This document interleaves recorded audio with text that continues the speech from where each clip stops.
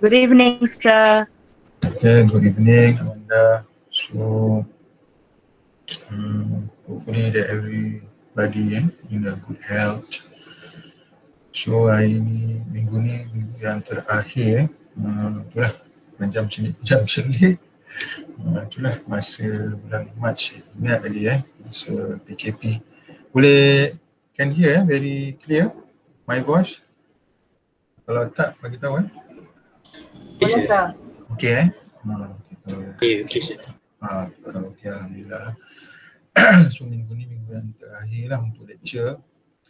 Uh, seperti yang saya apa dalam WhatsApp group saya ada juga eh uh, maklumkan yang untuk lecture-lecture yang sebelum ni tak silap saya mungkin ada dalam uh, tiga lecture eh yang kamu kena lihat dalam YouTube lah eh. YouTube presentation eh. Jadi uh, based on yang tu uh, jangan lupa eh bila kamu dah tengok if you look already eh in the YouTube presentation uh, make sure you put your name eh you full you your full name and together with your ID number lah so that I can make the notes eh. Uh, macam lebih kurang macam kamu hadir lah eh. Uh, dalam YouTube Okay, uh, so for today's uh, lecture, so you'll end uh, our lecture, which is uh, lecture number 12. Eh, for it takes about one hours lah eh, for the first session. And then the next one, eh, the next one, I will stop the record uh, recording, and then I will start with a new recording for lab. So we will end our uh, lecture 12 uh, recording and then we start with the new recording lab 8, 9 and 10. Eh? So before we start eh, as usual eh, we, we start with the R and with uh, uh, bacaan Al-Fatihah. Eh? Al-Fatihah.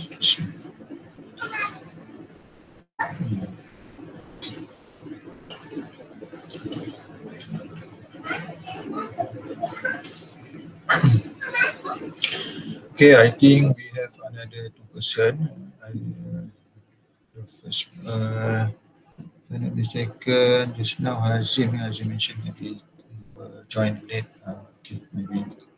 And the other one is Nadra. Eh?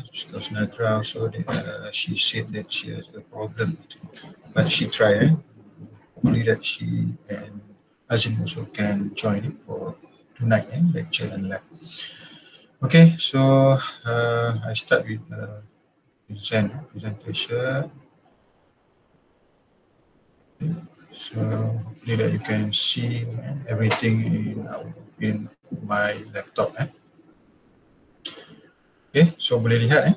Uh, ini dekat monitor saya kan. so we start with uh, list of attendance lah as usual eh.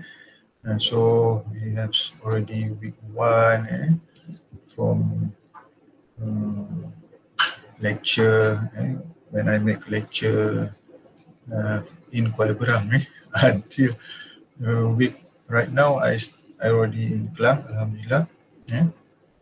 okay so we assume that this is the last week eh, which is week 15 so uh, as usual lah I, I, I mention eh, uh, each one of you. So start with Adila uh, can answer Ya. Ada. Assalamualaikum. Okay. Okay, Waalaikumsalam. Amanda. Yes, sir. Okay, good. Uh, Amiratul. Saya, sir. Okay, good. Uh, Beatrice. Hmm. Beatrice Muntai. Ada? Kalau saya tengok sini. Oh, Beatrice. Ada belum masuk lagi ya. Okay. Sekejap lah, I call her, sir. Ah, ada? Oh, okay, okay, okay. So saya uh, semari kalau chat bagi tahu eh. Saya kata, oh, chat tak ada kan. okay, so Beatrice ada kan. So Azim uh, katanya ada kejap lagi kan.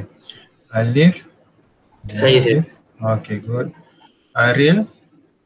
Ada sir. Okay, good. Uh, Faizal. Ada Faizal? Faizal Saluddin. Ada ada. Okay, Ada. good. okay. Uh, Firdaus. Hmm. Ada Firdaus. Ya, kamu chat. Hadir. Ah, ada ada. Hadir. Ah, alright.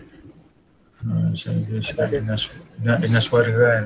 Bukan suara dalam minggu yang terakhir ni eh. Nur Alifah Nadra uh, masuk lagi kot eh. Dia ada masalah sikit katanya. Dia ada personal dia ada WhatsApp saya lah. Personal tadi. Mungkin insyaAllah kalau dia dapat join uh, kita boleh tengok lah. Uh, Rabiatul. Ada, eh. Hmm, So saya rasa ada betul. Okay, batteries. Okay. So 10 masuk another one more lah. I think one more. Uh, batteries. Nur Alifah ada ke? Eh, Nadra? Dah, dah join? Saya sir. Ah, okay. Saya sir. Okay. Dan Hazim, Hazim belum lagi eh. Ah, So nanti kalau Hazim dia masuk biasanya saya akan dengar bunyi lah. Bunyi. Okay. Okay, so Alhamdulillah eh. Uh, this uh, almost 99% lah. 1% more. Tinggal Hazim je insyaAllah. So mungkin last lecture ni mungkin ada jugalah uh, ada apa-apa yang boleh saya sampaikan lah untuk mungkin ada hint ke kalau untuk written test kamu kan dalam minggu, minggu yang depan lah itu minggu nanti nanti kita akan tengok eh slide uh, yang untuk lecture nombor 12 eh sebelum kita mulakan. Okay, uh, apa ni? Dia slow tapi uh. Okay, alright. Okay, thank you eh Rabiatul. So sama uh, Malaysia dia beritahu dia masuk lambat sikit. Okay, ya dia ada balik dia ada masuk lambat sikit lah. Eh. So saya pun tak apalah, kita pun dah buat recording. Eh, at least uh, kita boleh ulang semula lah eh. Nanti saya akan masuk dalam YouTube nanti. Boleh tengok balik semula eh, insyaAllah. Okay, so kita tengok uh, lecture tujuh ni, eh, insyaAllah. So, boleh nampak eh, uh, the whole of the monitor saya kan. Saja explication. Okay, so this is the last uh, lecture, lecture number 12, which is uh, GIS applications. So, even though uh, it has a lot of slide eh, about 61 lah. Uh, termasuk juga dengan dia punya cover kan, uh, dia punya tu 60 lah.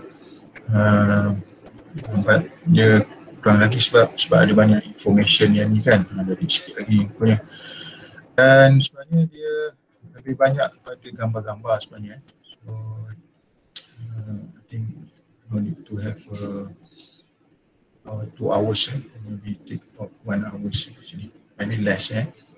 So we stop after we end our lecture for today and then we continue lah after this eh, briefing about lab 8, 9 and 10. Okay, so this GIS application actually uh, briefly lah, it's about uh, I can say that uh, from lecture number one until lecture number 11, whatever that you uh, know eh, about the knowledge, uh, especially in the civil engineering field, such as like uh, what we say like water, right? uh, structure, construction, yeah? uh, traffic, uh, what else? uh, infrastructure and anything uh, that more related with the application. So that one, uh, or might be might be outside from uh, engine, civil engineering fieldwork, eh? like tourists might be. So uh, postman, eh? road uh, salesman, uh, network. So that one also will be included into GIS. We can put it into GIS as a GIS application. Okay, so as usual, lah, hopefully, eh, again, so many times, eh, uh, every week I mention to you uh, about the mini project. So hopefully, uh, the project eh, uh, of your progress ni, at least uh, almost 100% lah. Eh? It should be 100%. So you just uh, need to touch up, especially your uh, report eh? and also YouTube presentation.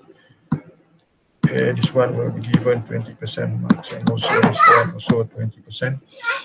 So, uh, put eh, the, uh, okay, saya dengar suara tadi. Macam suara ada orang join eh. Okay, Azim. Okay. Alright. Uh, okay, Azim ya. Okay. Uh, ya, yeah, ya. Yeah. Okay. ada, ada. Masa sorry lambat saya. Tak apa, it's okay, it's okay. Alright, uh, okay kita pun baru mula eh Azim uh, dan yang lain uh, kita baru mula pasal GIS application. Eh. So, uh, we just start eh, uh, to know about the information eh, about the mini project. Eh. So hopefully that all of your group eh, uh, with mini project ni almost lah dah, dah, dah boleh lah ni. Rasa submit dah minggu depan tu eh, YouTube present kalau dapat hantar ulang lah. Dah boleh hantar lah maksud saya. So kalau nak tengok balik eh, so make sure lah uh, you make it uh, as creative as you can lah eh. So kalau boleh dah, especially kalau YouTube presentation ni kalau boleh ada lah suara pasu dengan uh, kalau apa ni jangan jangan asyik gambar kartun je kan. Uh, kalau boleh macam gambar kamu eh, macam ikut presentation mungkin setiap seorang dalam 3 minit 4 ke 5 minit macam tu ke. So at least ada muka kamu eh, yang tunjukkan tu. Lepas tu boleh insert lah apa-apa eh, yang berkaitan dengan uh, mini project uh, topik uh, dia punya apa ni, case uh, study dalam mini project kamu tu. So report ni eh, dia seolah-olah macam FYP juga tapi it's not detail eh, uh, like FYP but the format will be like that ah. They, they have intro problem statement eh, so so on macam tu. Sampailah dia ada conclusion.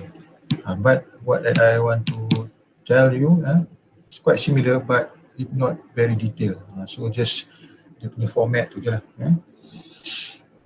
Okay, so kalau ada soalan tak apa boleh tanya juga eh. Uh, as long you understand kalau tak tu bagi tahu and written test eh, during test week eh, maybe you can see after this eh, the slide shows uh, dia punya date tu lah antara sekian-sekian eh. saya pun tak tahu pembincangan antara kamu dengan Puan Anna eh. So, as long dia dalam during test week tu tak masalah. Dia bukan ada final, dia bukan final pun. Yes. Tapi yang macam saya cakap lah, just written test. So the practical test we have done before this. So this one, eh, uh, right now, I in the progress, uh, marking your practical test. So far so good. Eh, written test, uh, you can see eh, uh, the plan that uh, that we have made. Eh. So this one is based on the MCO, eh, PKP lah, punya marks eh, that the faculty have decided. So it will be like this, eh, written test, practical, lab. Eh? Make sure all lab eh, that you have made uh, right now, lab 1 until lab uh, 7. Eh? So make sure you pass up, eh? Uh, you email uh, under ecd579.2020 at yahoo dot eh sorry at gmail eh, at gmail.com so make sure submit at that email eh, not uh, my personal email c underscore so at that email eh.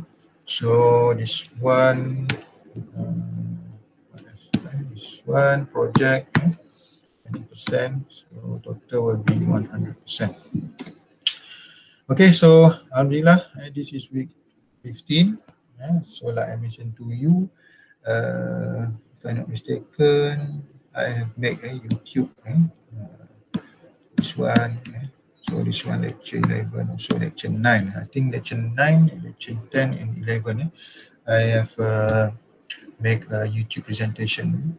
And from there, uh, you can look and make sure, uh, uh, I mentioned again, please put your full name and together with ID number. So that is the sebagai bukti lah, eh, proven eh, to for me uh, to take notes that you attend lah uh, jadi seolah-olah macam attend uh, kelas eh, dalam YouTube tu lah. Uh, ni pun kita dalam PKP ni dah banyak sangat ada mungkin blended learning tu uh, dah memang almost 90% lah nampaknya. ada juga ke yang kamu subjek-subjek nak tanya jugalah yang kamu kena uh, pergi kejap lagi apa ni dah minggu ni ke atau dah pernah turun sebelum ni eh, ke fieldwork ada buat ke? Macam survey ke? Uh, survey semester 2 kan? Kalau highway? Tak ada kan? Highway memang buat um, full uh, lecture lab dekat ni eh, dekat dalam dalam online eh. sebab kalau macam tu okay lah at least dia ada Yalah, kita kadang-kadang civil engineering ni uh, mostly site kita hands on eh. Uh, jadi uh, mungkin ada additional subject tu walau bagaimanapun kita cuba yang terbaik lah eh. So uh, I hope that eh, apa, lecture eh, yang mengajar uh, kalau kata memang perlukan lab mungkin dia boleh ubah strategi eh, menggunakan YouTube eh, dia, dari situ boleh nampak dan should be strong enough lah eh, uh, that it can uh, make uh, you all understand and after later on maybe you can practice on it. Okay, this is what I mentioned to you, eh, written test ni, uh, written test uh, between this one lah. So agak-agaknya berapa bulan eh, Puan Ana ada bagi tahu ke? Dalam berapa bulan cadangan sebab itu kita cadang ha. 15 Ha? 15 bulan tu 15 hari bulan tu bulan. Oh hari bulan tujuh eh. So 15 bulan tujuh dia bersama dengan hari Rabu lah juga eh. Ha, mesti juga eh. Betul. Aku tak silap saya, saya tengok kalender ni. Ha, so pukul berapa tu? tahu tak pukul berapa? malam juga ke? uh, dua setengah masa dua setengah petang? dua setengah petang lah Ah, sam- oh, so berapa jam? Dua setengah sampai ya sampai jam Bergantung kepada lecturer. Ha, so kalau saya, saya mungkin, saya tengoklah berapa jam, saya lupa lah, saya kena check balik lah. Tapi start dia dua setengah eh. Dia depend pada lecturer. Oh, dia pen lecturer saya lah tu. Ha Okay, jadi saya tengok nanti. So apa pun start dua setengah kan. Tapi lepas tu petang tu ada lagi exam tak? Ada apa lagi tak? Tak test? ada. Memang tak Okay, ada. kalau- Okay, Saya so tak ada tak petang saya ada pagi je Ha? Oh pagi ada kan? So pagi ada. Tapi tak tak ada paper pagi. Ah, right, right. So petang, yalah pagi dengan petang je kot eh. Malam ada ke? Hari Rabu tu? Tak ada kot eh. Ma- Malam tak ada Tak ada yang okey lah. So test saya tak adalah petang sampai ke malam kan. saya mungkin baru dalam berapa jam je lah eh. InsyaAllah. Ha, tapi yang practical test tu seronok lah kot eh. Boleh buat sampai sebab saya kesian juga kan sebab baru first time kan kita nak buat uh, dekat dalam apa ni uh, online pula tu. Jadi tak apalah. As long kamu dah uh, siapkan dalam malam tu, itu should be okay eh. So ada soalan? so hopefully everybody uh, prepare lah eh, for the next uh, kalau katakan 15 bulan 7 sekarang ni kita sekarang ni berapa bulan? Satu Julai. so satu oh so another two weeks more lah. Eh? So maknanya lagi following weeks uh, maknanya minggu depan tak ada. Minggu satu lagi 15 bulan. Eh? So make sure lah. Uh, everybody alert lah eh together with me lah kan. Takutkan tiba lupa pula eh. So 15 uh, Julai eh. okay, so thank you very much eh for the info. Even though after actually before that pun mungkin uh, Puan Ana yang dia akan maklumkan masa ni. Uh, so untuk yang lab, uh, so lab uh, untuk malam ni lah, malam terakhir. Uh, sendiri lah pula eh. Malam terakhir, saya lah kot, yang lain tak kira. Okay, uh, lab itu lab yang 8, 9 dengan lab 10 lah. Uh, so actually this one just briefing for you. Uh, so maybe dia lain sikit lah daripada lab 1 sampai lab uh, 7 sebab lab 1 7 tu kita hands on eh. Terus buat dalam uh, GIS tapi yang lab 8 9 10 ni kamu buat juga dalam GIS tapi nanti saya akan explain lah macam mana cara kita nak buat. Okay, so without uh, uh, kita mulakan lah eh, dengan lecture 12 ni. Eh, kita pun dah baca doa tadi eh, kita mulakan dengan Al-Fatihah Okay, so for uh, this lecture, eh, lecture 12, GIS application. So at the end of this uh, lecture, so the learning outcome, the student should be able to understand uh, the scope of GIS application. and GIS application areas such as like uh, the areas of urban management eh, ni yang saya cakap ni ada karyanya mungkin uh, outside eh, from the civil engineering field work lah uh, field eh. Uh, so urban management mungkin uh, meng- adalah sikit-sikit kot dalam resource environment uh, yang ni field eh, civil engineering lah also field of civil engineering, transportation, facility management, okay, ada juga. Commercial, uh, ini eh. ada kita tengok nanti eh. Public service, uh, ni totally mungkin uh, others lah eh. E-government, eh. also others. So we will see and look one, one by one, insyaAllah. So, uh, first one eh, we need to know lah eh, the functional classification of GIS application ni. So, kita dah belajar eh, how to use the ArcGIS eh, software, GIS software lah, ArcGIS, ArcCatalog. So when we talk about ArcCatalog, normally it's more related with the data collection, eh, the data, how that you want to retrieve the data, input the data, and create a new feature, and make a georeferencing, uh, georeferencing maybe in uh, map lah eh. Tapi yang ni mostly is about the data, data collection eh, put into normally uh, they organize in ArcCatalog eh, GIS, uh, GIS software. So the characteristic of data uh, team eh, so when we talk about team ni mostly is about the like image eh, satellite image, eh, aerial photo eh. So precision required uh, also need to be taken when you have digitized eh, uh, like road eh, uh, as a line, river also as a line, uh, what as a polygon, eh, it represent the border eh, or the area, uh, kalau point pula itu represent the trees, but uh, when we talk about precision ni, normally more related with the location, location, space uh, special, uh, what else uh, we call as coordinate. So the more accurate eh, uh, x, y, z eh, coordinates, so the more precision you will get. Eh? So how that uh, precision, uh, how that you want to get a very accurate x, y, z. Uh, from there you can make a surveying eh, by using a total station. Eh? You have a total station, so you can use that one eh, or also GPS maybe. Eh. So you will get a very accurate and then will precise eh, the data itself.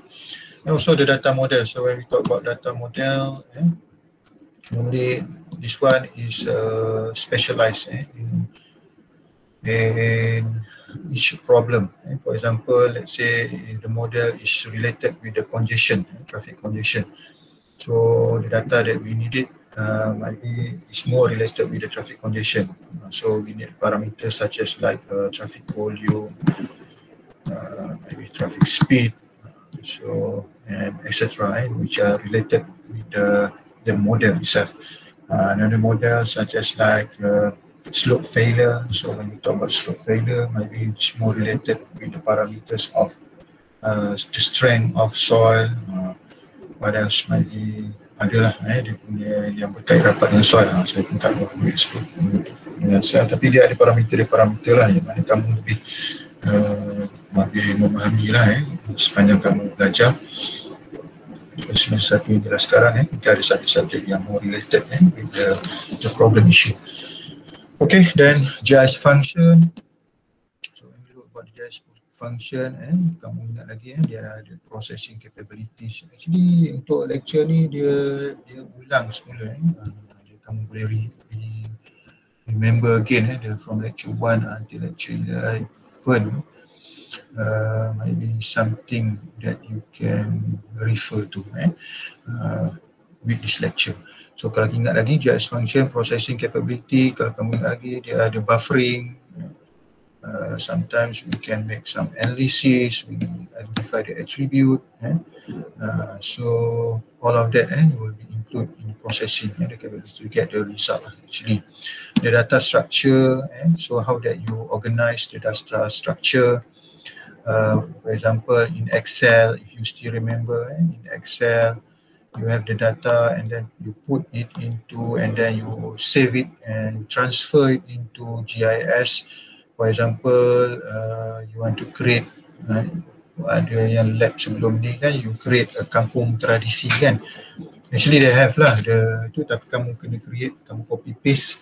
Uh, sebenarnya kamu type lah tapi sebab dia dah dah, dah tu kamu copy paste terus. Lepas tu dalam excel kamu save. So some of the format eh maybe uh, can use directly to open in our catalog and also apply some of them might be it, depend with the version of the software itself lah. Kalau version dia mungkin agak tinggi uh, so Excel sendiri the format of Excel sendiri pun dah boleh kita gunakan. Tapi kalau kata format uh, versi yang software GIS tu agak uh, lama mungkin 5 tahun ke belakang. So maybe the Excel format cannot use but you need to convert lah. So maybe convert uh, become SD based punya format ke ataupun notepad punya format then you can uh, you can get eh, from the uh, you can import it eh? so into iCatalog dalam GIS software. Okay, then we go to products. Eh? So if you still remember the product of GIS, there's a lot of GIS new products such as like from Esri, uh, kalau Esri ni from US product. So from Geo, Geo, uh, saya lupa lah ni kejap. Uh, uh, Geo, dia geometric dia Geo Professional, eh, Geo Professional. Actually this one uh, is come from German, German product. They also they they also have GIS uh, what we call the product macam S3 product dia syarikat dia uh, daripada Small World. Uh, Small World ni pun daripada uh, German product. Uh, so in the product ni they they have uh, the interactive queries, the different queries lah. Uh, yang terdengar suara anak saya tu lagi kuat saya abaikan eh. uh, uh, Betul, betul. uh, itulah. Saya nak apa ni hmm, tak apalah. Abaikan lah eh suara suara belakang okay one time video. Tape also can be used eh. Uh, so kadang-kadang dalam JIS tu sendiri tu kita boleh make a recording eh uh, so and also the product from GIS software also after we make eh, the satellite image you put into uh, you make some analysis on that you also can print it and to become as hard copy maps eh. Uh, contohnya kalau kamu nak create you want to make some uh, analysis on that then you you find the analysis uh, for contoh paling mudah daripada mini project kamu lah. Uh, so kata mini project kamu tu traffic congestion. So uh, as long you can make it uh, then you create it uh, in hard copy. So you can put into report. Uh, so maybe report uh, it depends. Either you want to make digital report eh? like what you will do eh, after this uh, for the mini project uh, then boleh juga masukkan uh, copy paste uh, masukkan ataupun kamu nak print out so become hard copy uh, so pun boleh juga eh? So that's also the functional eh, classification of the GIS uh, application actually. Okay, so uh, in GIS application also they have a decision support tool. Eh? So what kind of decision that are supported by the GIS? So some of them they have a simple decision. So simple decision ni uh, dia just uh, itulah macam kita uh, view the map. Eh? So from there we want to identify the location. Eh? Uh, that's what we call simple decision. So when it become as a complex decision, it's based on a certain issue. Maybe like flash flood uh, in KL, for example, or maybe case of tsunami yeah, in Aceh, maybe, or maybe uh, traffic congestion uh, in your ITM road network, uh, maybe. Right? So that's maybe the call as complex decision, where it uh, it will give a certain certain certain problem issue that you need to tackle. Uh, so not all the parameters that you you will put into the complex decision. Handling uncertainty. So in this case, uh, this one uh, you can see uh, the slide maybe later on. Uh, uh, if they have uh, mentioned about this one. Eh. So this remind me again. Handling uncertainty. They have uh, for the next uh, following slides. Group of GIS activity in GIS application. So if you still remember, eh, they have a public user, they also have like a scientist. Uh, ni yang daripada ingat lagi daripada week 1, week 2 kan yang saya ada terangkan sebelum ni. So who use the GIS? Eh? Public user, eh? Prime Minister, Prime Minister dia tak buat lah tapi dia arahkan lah. Eh? Uh, so this the what we call as a managing eh? solution. Eh? Orang yang apa ni lah, uh, make a solution. Tu ada juga yang researcher eh, yang, yang juga menggunakan GIS, uh, dia nak buat satu kajian. So uh, GIS actually used by all people. Eh. So yang ni yang saya pecah-pecahkan lah dalam lecture yang sebelum ni, deal with the special information. So special ni memang kita lebih maklum lah. Eh. Special when we talk about special information, more related with X, Y, Z coordinate, eh, what we call as a location. Eh. So each group has this distinct educational and cultural background and particular ways of approaching the problems. So it depends eh. So let's say kalau kata group tu public user, maybe dia ada dia cara dia lah, approaching dia mungkin dia buka apa ni Google Map and then dia identify kat mana lokasi dia, ha, contohlah ha, itu je. Tapi kalau kata ada group yang lebih detail lagi eh, to get the problem issue, ha, macam kamu lah contoh buat mini project traffic congestion, so you need to identify uh, what kind of the approaching problem that you need to be handled. So that that's depend lah eh, kalau group of GIS activity ni so dia meliputi all people lah who deal with special information. So interaction occurs between group. Sampai some, sometimes eh, depend also eh, uh, between groups. So ada juga group yang bergabung eh. contoh kalau kata berlaku tsunami uh, so normally uh, group yang ada apa peta satellite image tu uh, so dia hand over eh, to this case of tsunami. So might be in term of flight punya apa ni journey punya pun pun uh, group yang ni eh, uh, so dia akan beri maklumat uh, so what else eh, water level. Uh, might be water level uh, ni mungkin group daripada group hydrology ke eh, water ke division. Uh, so dia pun beri maklumat. So banyak juga interaction between group if they have a, one problem eh, where this problem actually related with each other field. Okay, core group. So when we talk about core group ni, uh, dia lain sikit eh, core group ni more to teknik, teknologi lah, teknologi sharing. So kalau katakan sebelum ni, uh, dia ada juga yang uh, general, eh, general. Tapi kalau untuk yang ni, uh, core, core ni maknanya more to tekno, teknologi eh, like surveying, eh, engineering. Uh, so dia dah mula lah, eh, relate with the uh, kuantitatif punya apa ni ada pengiraan sikit eh mana ada equation di dalamnya kartografi also remote sensing eh. So dia ada juga eh yang ni group teknologi dia ada juga group yang management and decision making. Ha, yang ni macam saya kata tadi lah. Dia top management uh, dia cuma decide. So ada orang-orang yang akan uh, lihat eh macam planning eh orang yang give a planning. AM FM ni bukan radio eh punya gelombang. FM macam ni kamu tengok. AM uh, ni automated uh, mapping facility management. Uh, ni dalam GIS punya ni lah. Whereas uh, yang FM ni uh, facilities management lah. AM ni adalah automated mapping. Uh, yang ni uh, ada juga eh uh, dia punya GIS division eh, yang yang will get to eh, on AM and FM commercial eh, management so resource ni so get from which resource eh. uh, so management ni kalau decide uh, for example if they have case of tsunami eh, last time 2004 so the top management eh, so top management dia macam prime minister so uh, he want to know eh, uh, what's uh, the problem issue of the tsunami. Uh, so does it uh, give some uh, very bad uh, damage lah uh, in our country ke? So mungkin kalau kalau kat Malaysia mungkin dia berhampiran dengan Selat Melaka lah.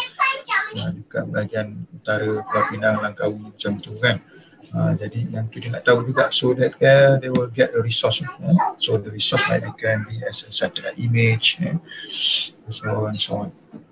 Uh, so uh, macam saya cakap tadi, core group ni dia meliputi teknologi, community management dan ada juga eh, uh, okay, yang ni uh, yang yang standard lah macam tadi yang saya maklumkan tadi tu, yang group activity ni. Dia ada juga eh. Memang ada juga general public service eh general public service uh, so but not public user lah tapi general public service ni daripada government eh, and also the geo information seekers. Uh, ni bukan seekers yang uh, dalam dalam TV tu kan. Tapi yang ni geo information eh. Kalau seeker dalam tu lebih kepada orang suka lah kan macam nak menarik perhatian uh, makhluk halus semua tu. Tapi yang ni geo information seeker ni dia uh, nak dapatkan eh, butiran-butiran contoh kawasan-kawasan yang uh, apa ni uh, hutan eh, terbakar ke macam ni dia boleh identify melalui satellite image. Uh, kalau kamu tengok sebelum ni mungkin tak ada kita tak tahu kat mana tempat uh, kapal bahtera Nabi Nuh. Uh, jadi dengan ni contohlah eh. So dengan cara kita lihat satellite image uh, kita sebenarnya kita boleh dapat eh, nampak dia punya tapak uh, bahan bukti dia. So that's a uh, uh, contoh lah eh, yang mana setiap core group ni eh, dia macam teknologi management, right? public service, uh, dia memainkan peranan masing-masing eh, dalam GIS activity. Then we go to GIS application area. So yang ni just berkaitan dengan setiap eh, areas that uh, use uh, GIS as application. Okay, so before that, uh, do you have any question eh, before we start with the GIS application area ni? Ni yang second one lah ni sebenarnya. Uh, kalau tak ada, and then we go eh, with this GIS application area, start with urban management. So if you still uh, want to understand what is urban management, eh, urban management is something related with the uh, involved in the use of computer to carry out function of urban government, management agency as well as commercial practice. Uh, kita boleh tengok eh, nanti dia punya uh, figures dia tu.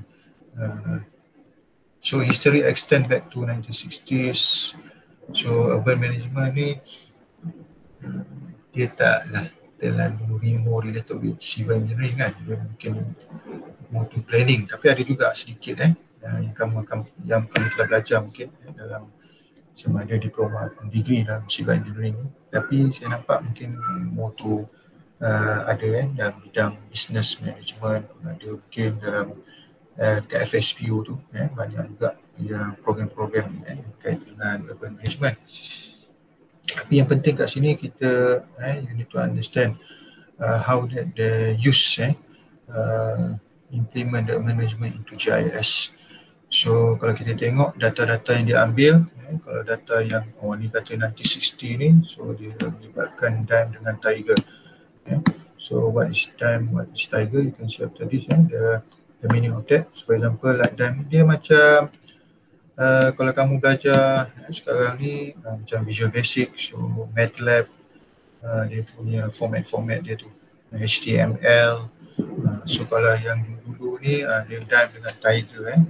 Uh, kalau kamu tengok uh, what means by dime ni, DIME ni dual independent map encoding. So yang ni dia macam ada programming programming ada code-code eh uh, kamu ingat lecture-lecture sebelum ni kan uh, kamu ada tengok equation yang saya anggap kamu jangan hafal lah tapi kamu tahu. Maknanya formula yang digunakan tu sebenarnya uh, dihasilkan eh, dalam GIS yang mana programmer telah programkan eh, equation tu masuk ke dalam GIS supaya ianya boleh digunakan can be applied untuk GIS software. So this is uh, the two of the apa ni lah coding eh yang pertama dua independent coding ni uh, so yang ni dimasukkan dalam uh, GIS eh. so dia elemen uh, ni tak apalah kamu boleh baca ni tapi dia punya uh, apa ni maksudnya tu history dia uh, dia merupakan satu coding lah eh coding. Yang yang seterusnya ni tiger eh bukan makna harimau eh. So dia tiger, ya dia mudah nak ingat kan so tiger represent topological integrated geographic encoding and referencing. So dia ada reference, uh, dia ada geocoding eh, dan dia ada juga topologi bentuk muka bumi. So yang ni datanya eh, dari 1970, 1980s. Ha, kamu dah lahir ke belum ni? Ha, saya pun uh, budak-budak lagi lah masa zaman ni. Ha, mana dia create ya, uh, during this time. Eh. So uh, later on eh, uh, 70s US uh, dia have been conducted so data tu eh. Uh, so kalau untuk kamu tahu data-data tu mungkin data urban management ni. Yang berkait rapat dengan uh, setiap tempat lah, urban ni. So how they manage eh, uh, each of the urban places eh, urban development. So daripada awal lagi lah US kalau ikut US ni daripada dia simpan data-data tu. Dan data tu amat penting eh, boleh digunakan. eh, dan boleh diupdate dari semasa ke semasa. Dan daripada situ baru dia dapat eh, uh, boleh mengkaji lah. Katakan kalau dia untuk setiap urban tu management dia boleh planning sekali eh. uh, in case eh, they have a, like a crime analysis eh, daripada data yang dia perolehi uh, dia pun boleh juga simple record keeping eh, for this uh, data. So uh, like mentioned in this slide, uh, this sentence, eh, uh, the paragraph, now the GIS application become more sophisticated, moving from simple record keeping to more complicated decision making activities. So makin banyak, makin lama, makin banyak isu eh, yang boleh dilakukan dalam GIS application. Sebelum ni uh, dia cuma ada certain certain limit limitation lah eh, for the GIS application. Uh, nowadays uh, the programmer eh, can program very well so that you can make some decision eh, uh, to apply uh, many many issues lah, eh, so that they can solve uh, very well into GIS. Eh. Okay, so the other GIS application areas such as like small town management uh, also can be made. So in here, uh, this is one example, eh, that they make some application uh, using uh, apa ni kalau ni bahasa Cina ni tapi itulah nak ceritakan ni uh, ni dalam GIS juga eh. So you can make uh, some decision eh. kalau kata bulat-bulat ni uh, ni tunjukkan apa yang warna apa ni bentuk segitiga warna kuning ni uh, so dia boleh dia boleh decide what what categories eh, for so that they can manage lah. For example small town ni dia nak create apa kat situ? Mungkin sebagai residential area might be. We can become as a commercial area and so on. Eh. even though eh uh, kalau kamu sebelum ni kamu mungkin pernah belajar pasal project management eh. so project management ada kalanya ada yang menggunakan sebelum-sebelum ni lah macam apa yang software apa yang kamu guna? Uh, BIM BIM yang terbaru lah yang lama mungkin uh, nama uh, project software ingat lagi tak? Mana siapa yang ingat? Selain daripada BIM BIM kan? Uh, sebelum tu ada lah macam nak tahu critical part method ke CPM kan uh, so yang tu uh, Project Ah, Microsoft Project kan? Uh, itulah uh, okay, good uh, Microsoft Project. Uh, so yang tu uh, kalau sebelum masa zaman saya dulu, saya ingat lagi lah saya tak ada lah peta-peta macam sekarang ni mungkin dah advance eh, dia boleh masuk image sekali ke eh, saya pun tak tak ikutilah perkembangan eh, unless kalau yang masa sekarang ni kamu belajar uh, mungkin dah termasuk juga dalam GIS juga mungkin dimasukkan eh. Uh, so dia integrated eh, dengan software yang tu Microsoft Project mungkin digabungkan juga dengan GIS uh, contohlah eh. So lagi bagus lah so kita boleh identify the, the image and together with the information eh, the data. So the data and also the image together. Uh, itu lagi bagus. Eh, so kita dapat info dari situ. Dan kita boleh buat analisis terus dari situ. Uh, berapa kalau kata hujan taburan hujan. So mungkin planning kita uh, kita beranjak uh, contoh dalam project management yeah. Construction juga eh, mainkan peranan juga eh, dalam GIS application area. So kalau sebelum ni eh mungkin kalau kamu tengok engineer eh dulu lah masa zaman-zaman saya dulu 10 tahun yang sebelum ni kita nampaklah dia bawa kereta apa ni drawing besar kan saiz A0 so sampai dekat site tu ditunjuk eh tapi sekarang ni tak payah pun pakai laptop saja kot. Hmm, mungkin lah.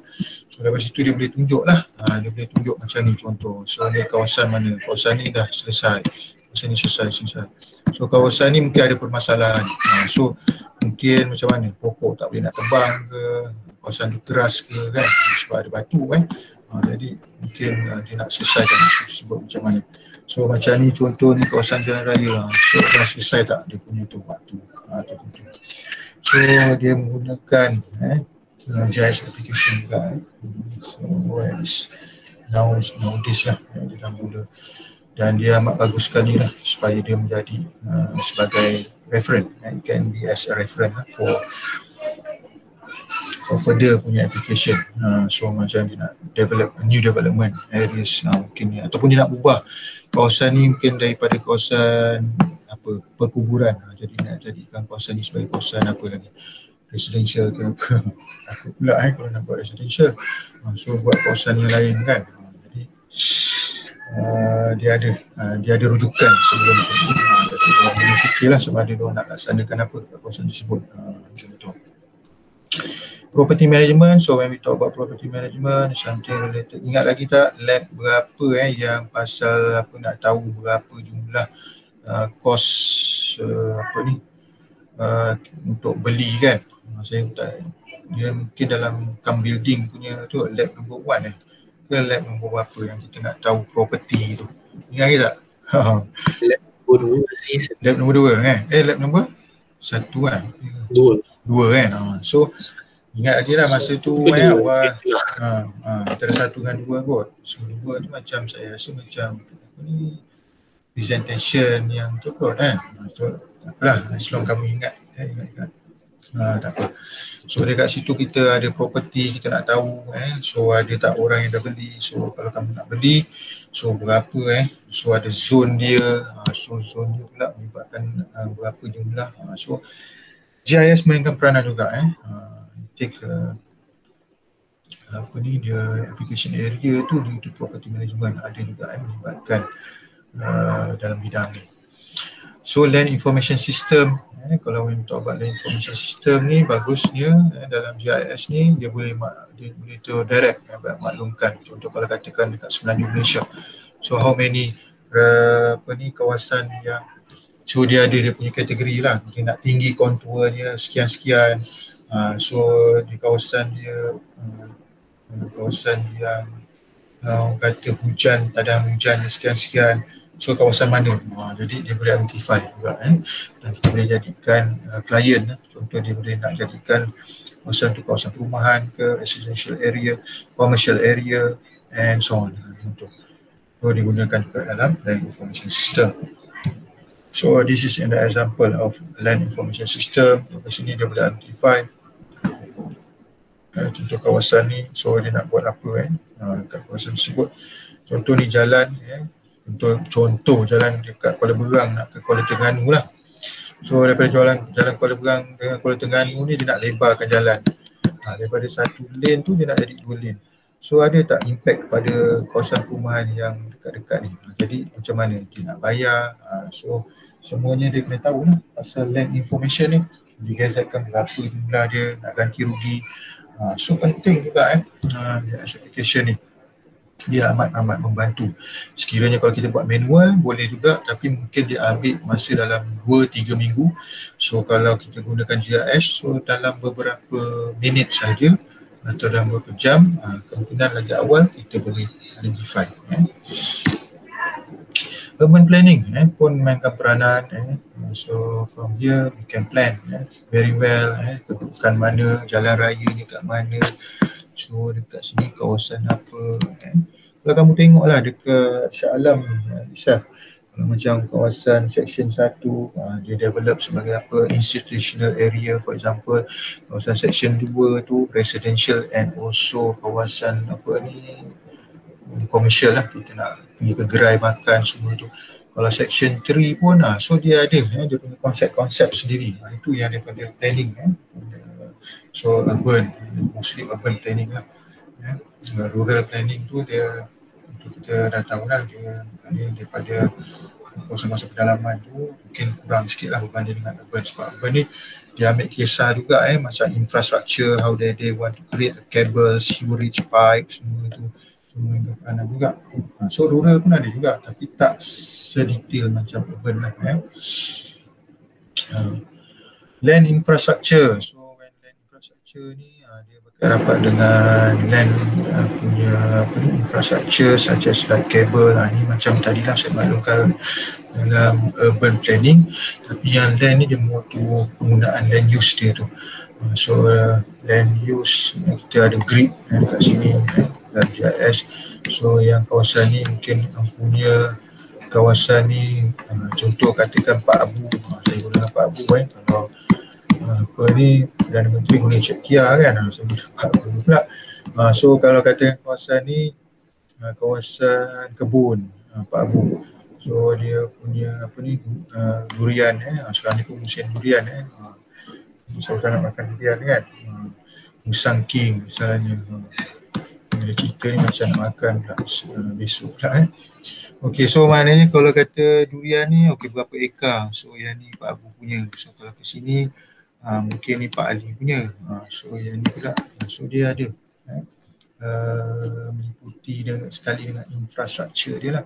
So dia ada macam water piping semua tu eh. Lepas tu dia ada kemudahan uh, post lamp eh, lampu jalan semua. Uh, jalan raya tu sendiri pun eh, ada sebagai infrastruktur juga yang boleh membantu eh, untuk pergi ke kebun uh, Pak Ali dengan uh, apa tadi Pak Abu eh buat saya. Uh, contoh eh contoh kan? Uh, itulah. Kalau nama ayah tu minta maaf lah eh. Saya sebut contoh lah eh Pak Ali kamu mudah ingat.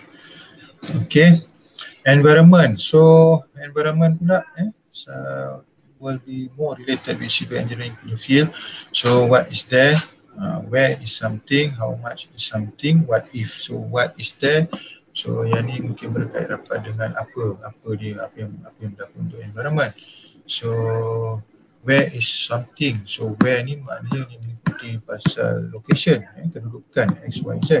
How much? Ah, yang ni dia mula relate dengan costing. Ah, so what if? Apakah sekiranya costing kalau kita nak buat? Tu.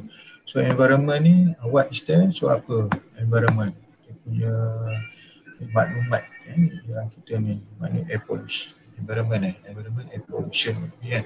So air pollution, apa lagi lah yang berkait rapat water pollution eh. So apa isu dia lah, ha, contoh. Okay, so understanding the limit. So the limit of data availability. Eh. So senang kita relate dengan kamu punya mini project. So kamu mungkin tak adalah kamu kalau dapat data traffic congestion satu Asia kamu dapat kan panjang lagi tak habis satu semester kan so mungkin data availability ada limitation dia macam FYP kamu scope of study lah so data availability tu kalau katakan cukup dah sekadar section 2 Syah Alam punya data je kamu dah boleh uh, so accuracy and resolution. Uh, ni data availability contoh kan. So accuracy and resolution of special data. So it's based on the how much the accurate of the XYZ eh punya tu kedudukan. So biasa dalam Google Map insyaAllah lah memadai lah dia punya. Kalau kita nak digitize eh, become a vector data. So at least kita dah boleh nampak, kita zoom pun kita boleh nampak. So give uh, still inaccurate eh, and good resolution eh, for the Google Map eh. error in attribute data interface sometimes they have an error maybe this one was from the previous lecture saya pun ada bagi tahu kadang-kadang dia tak sambung eh. contoh kita nampak macam seolah-olah masa zoom out tu uh, contoh macam contoh macam rumah eh, satu rumah tu uh, disambung tapi bila kita zoom je sini rupanya dia tak sambung uh, dari jauh pun kita nampak lah macam tu uh, kalau yang ni lah tapi kalau yang contoh dia bersambung tapi kita zoom bila zoom je rupa-rupanya uh, tak bersambung uh, tak bersambung jadi uh, that's the, the error that we need to uh, to identify lah. So that's why they have limitation also eh, uh, in the GIS application. But we can solve it eh, by zoom in eh, ataupun ada kaedah-kaedah lain. Eh. Uh, real scientific model, so sometimes the, the poor develop special model. Eh. So um, kadang-kadang kita cuba eh, yang terbaik uh, dalam proses uh, kedudukan eh, uh, macam especially special model ni lah kalau kamu ingat lagi eh uh, dalam WhatsApp contoh ha, ni kalau model ni yang dalam WhatsApp kamu aku rasa tak ada suruh uh, add location kan kalau dalam uh, pernah guna tak uh, WhatsApp tu. Uh, dia macam uh, kadang ada member lah tanya kan kat mana dah sekarang? So kamu tekan yang macam ada gambar klip tu. Uh, so dekat situ dia ada tulis dokumen, kamera, galeri uh, so salah satunya location. So, kalau kamu tekan location tu so dia identify. So kadang-kadang uh, itulah ada masalah juga kalau bergantung pada handphone tu sendiri ke ataupun uh, berapa banyak satellite image eh, yang boleh identify. Jadi dia kadang-kadang bila kamu tengok nearby place tu uh, send your current location kadang accurate to 22 meters kadang accurate to 100 meter. Yang paling bagus 5 meter tu okey lah. Takutnya kalau macam 22 meter 50 meters eh, uh, kamu cakap tu tempat kamu rupanya dia seberang sungai pula. Uh, jadi tak tak sampai dekat tempat yang bukan kamu tu. So they also have a problem lah so they need to to modify lah to enhance eh, the technology itself. Macam mungkin handphone tu dia mungkin upgrade eh, agar dapat lagi lagi baik lagi lah untuk oh pejam celik pejam celik kita dah pukul 10 eh. Oh tinggal sikit lagi lah eh. Saya ceritakan uh, untuk slide untuk lecture 12 ni. Kebanyakannya JS application area ni mungkin kita boleh tengok lah secara terus eh. Tak, mungkin tak detail lah macam ni semua kebanyakannya GIS application saja eh. Dia boleh juga pasal environment protection eh. Kalau environment protection ni macam pokok-pokok lah yang dia boleh uh, jadi lindungi pokok-pokok balak yang mana mungkin sekarang ni dah nak pupus uh, jadi uh, cuba dihindari. Uh, jadi itu dia boleh detect melalui GIS. Uh, nak ceritanya river management, sometimes also they if they, if they have a pollution eh, dekat dalam river orang tiba-tiba uh, apa ni buang bahan toksin semua kan. Jadi kita boleh identify lah contoh kalau kawasan tersebut uh, contoh ni sungai kan. Uh, contoh yang ni adalah sungai tiba-tiba ada orang buang eh, tok, toksik uh, kat sini. Uh, jadi pihak JIS tu dia akan dapat detect lah. So dia boleh cover berapa buffer yang harus di, diuruskan untuk buang uh, macam tu jadi tak adalah dia buat satu sungai, satu macam kalau sungai Rajang takkan daripada awal sampai akhir kan dekat, dekat apa ni Sabah Sarawak dekat area pantai timur uh, dekat apa Malaysia Timur tu kan. Uh, jadi uh, dia kena tengok berapa dia punya dia punya limit, limitation yang dia boleh selesaikan. Uh, contoh kalau macam di kawasan uh, demam denggi uh, itu cerita lain lah. So dia dia akan f- buat fogging kan. Uh, dia buat asap takkan satu apa selangor dia buat kan. Ha, jadi dia ada dia punya buffering dia tu. Berapa dia limitation ikut guideline lah. Uh, environment monitoring also eh. Uh, dia nak tengok contoh yang dalam kes ni ni jerbu lah. Uh, so dia nak tengok IPU dia berapa so dia kawasan mana yang paling kritikal boleh juga di detect eh, melalui GIS application. Flood forecast and control eh also can be used uh, in GIS application transportation eh where transportation planning uh, transportation eh we can make a planning for transportation route selection traffic control eh, construction and maintenance of the transportation. Uh, contoh macam ni optimum highway uh, transportation monitoring kita boleh lihat eh macam dalam Google Map kan kalau kamu buka on kan dia punya traffic kamu boleh nampak ada warna merah ada merah, merah tu maknanya kesesakan lah kalau hijau okey. Kalau warna kuning tu sederhana LMS uh, railway GIS also eh dari situ kita boleh identify eh, bukan mana bus tu uh, sorry kereta api tu sampai daripada satu destinasi ke destinasi yang lain. Shipping road management also eh. Ha ni dekat apa ni lah kawasan-kawasan uh, laut eh uh, port eh kawasan port pelabuhan. So dari situ pula kita boleh make a management eh road supaya tidak berlaku kesesakan juga Dia macam masuk ke dalam uh, road hazard management. Eh, dekat sini pun kita tengok kalau ada kawasan uh, kawasan tanah runtuh ke macam tu. Kita boleh identify berlaku macam contoh sebelum ni genting sempah. Saya pernah saya pernah mengalami lah uh, tahun bila tu. Yang mana pada waktu tu saya tersekat eh, lepas tu saya tak boleh pergi balik semua ke Kelang daripada Terengganu. So saya kena patah balik tinggal kat mana-mana hotel. Uh, jadi tahap tu lah. So GIS juga boleh membantu kan sebenarnya.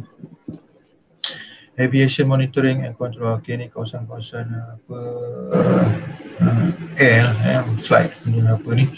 Uh, so Air Asia ke Mars semua ya so dia boleh guna. Uh, so sebenarnya ada juga level eh kalau kata uh, flight ni dia bukan macam dekat on road lah. Kalau on road tu dia land kan tapi kalau ni dia level pula. Uh, so kalau kata kalau kata bang Asia ke atas kawasan Mars tu dia sama juga tapi dia bawah. Uh, level dia macam tu.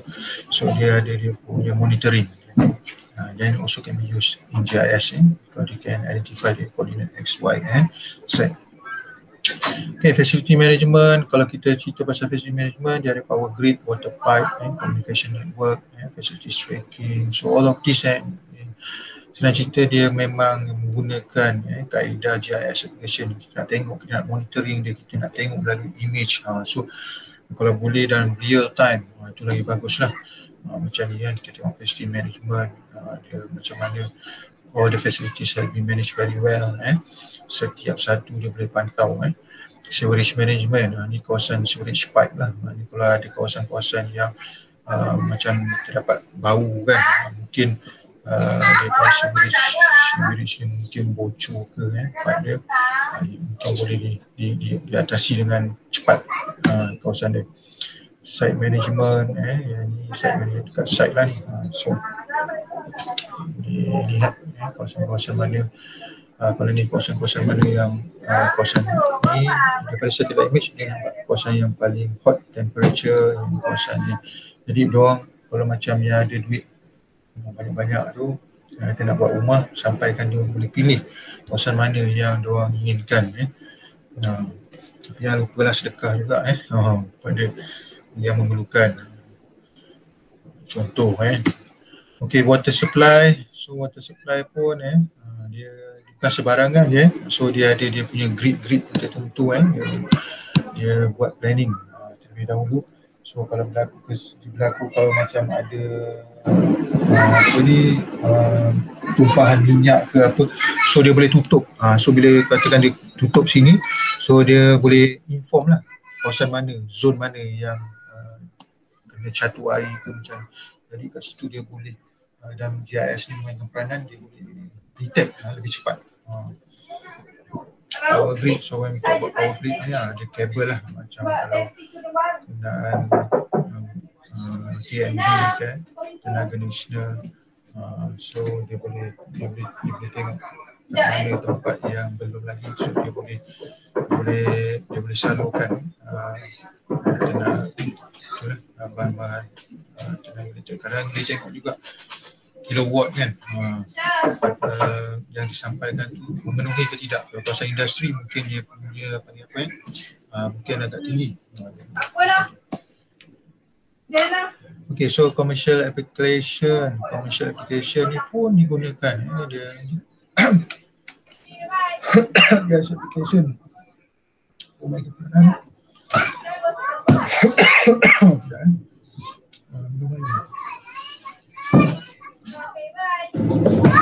Okay. Uh, logistik good delivery. Supermarket management uh, mungkin yang ni pun luar daripada skop. Usah suara saya macam ni lah pula. okay, okay. Uh, banking, eh, banking fast food chain. Eh, So ada juga eh, macam sekarang ni uh, logistik good delivery eh, kita online saja eh. Uh, sampaikan kalau nak makan pun uh, senang je kita boleh uh, fast food chain. Kita boleh order eh. Kita boleh identify kat mana kedudukan kita. Uh, Okey, saya pun tak tahu apa yang berlaku kat belakang saya ni. Uh, budak-budak saya ni apa Uh, inilah masanya masa tular. Kan kita teruskan eh, sikit lagi. Client service uh, okay yang ni saya rasa bank lah eh. Uh, lepas device tracking eh. So dia ada device tracking so when talk about device tracking ni uh, dia dia dia boleh detect eh, kat mana tempat lepas kita mungkin kalau kata kita ada berlaku kemalangan uh, so dia bila telefon dia boleh detect kat mana kawasan tu. Ha. Contohlah salah satu contoh.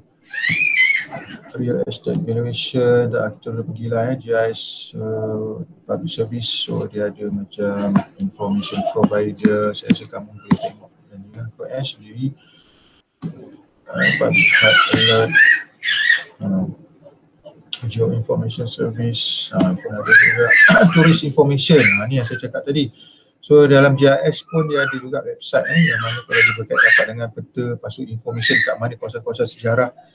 Ha, ha, so yang tu semua memang kita boleh aplikasikan dalam GIS ya.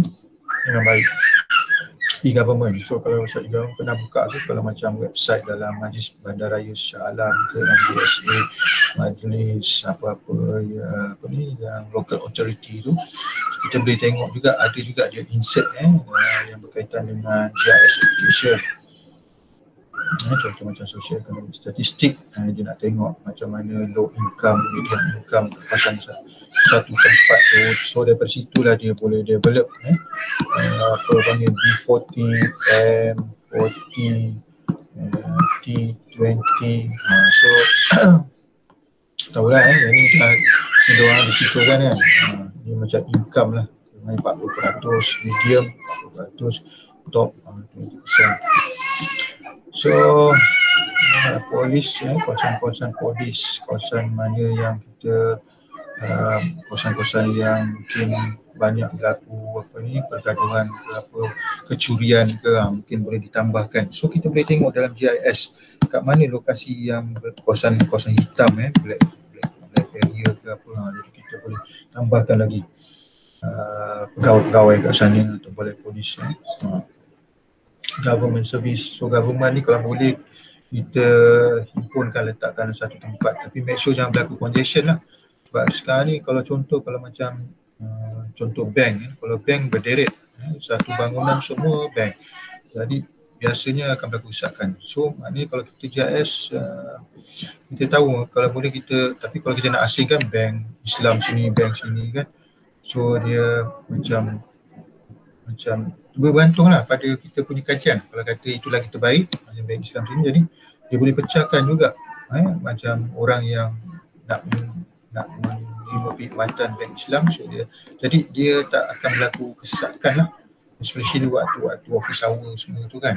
Jadi, jadi benda tu amat penting eh dalam JIS application ni dia boleh menentukan eh, dengan dengan dengan baik sekali e-government uh, ni macam saya cakap lah mungkin ni website uh, satu majlis eh, ataupun uh, ni persatuan atau dia akan buat create dia own apa ni website termasuk dalam map eh, dengan info sekali.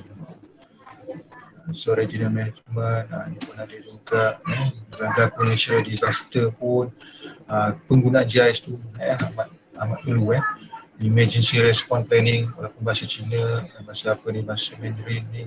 Uh, tapi dia nak mainkan peranan uh, kalau berlaku apa-apa uh, emergency contoh kalau uh, apa kita guna nombor apa 999 kan? Kalau 911 macam tu. Jadi dia boleh detect terus kat kawasan mana. Uh, melalui apa kita hubung tu kita dah ada GPS dalam handphone ni dia boleh detect. Jadi kalau kata kita tak bercakap pun mungkin dia akan tahu kat mana kedudukannya. Jadi itu pun cukup bagus juga eh uh, untuk JIS application. Okay, so that's all I think. Uh, yang tu lah eh untuk summary. So actually JIS ni digunakan oleh semua orang. Uh, JIS application cover grade of field. Uh, boleh kata hampir keseluruhan lah. Uh, dan division of JIS has been increased. Uh, major bottleneck just is data sharing. So data tu amat memainkan peranan dan juga boleh sharing eh, together with the technical and management. Okay, so saya harap hmm, itu saja eh, untuk lecture nombor 12 ni which is just application and this is the last eh, uh, lecture eh, for this semester. So any question eh, before we stop here for this first session first? Uh, and I think I also stop the recording eh, for this lecture number number 12 ni. Okay, so ada soalan ke? So saya stop dulu eh.